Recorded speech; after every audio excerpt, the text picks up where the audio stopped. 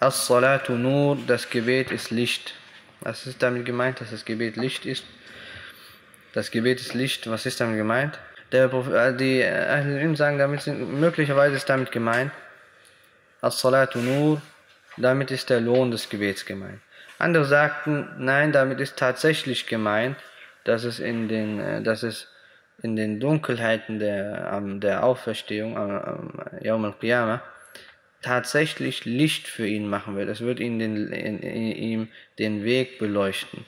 Und deswegen sagt der Prophet sallallahu alaihi sallam, äh, über die Gebete, man hafaza alaiha, äh, man hafaza alaiha kanat lahu yawm al-qiyamati äh, nuran, äh, nuran wa burhanan. Wer die Gebete einhält, für sie werden diese Gebete am Tag der Auferstehung Licht sein und ein Beweis, ein Beweis für seinen Iman. Und er sagte noch etwas, habe es äh, nicht mehr in Erinnerung. Das wie beim Wudu, sagte der Prophet nicht über das Wudu, äh, er sagte, Innakum tub'athuna yawm al-qiyamati ghurran muhajjalin min athar al-wudu.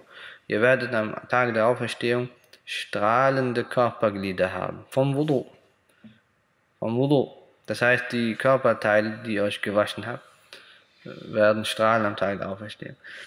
Ähm, also damit ist entweder das oder das gemeint.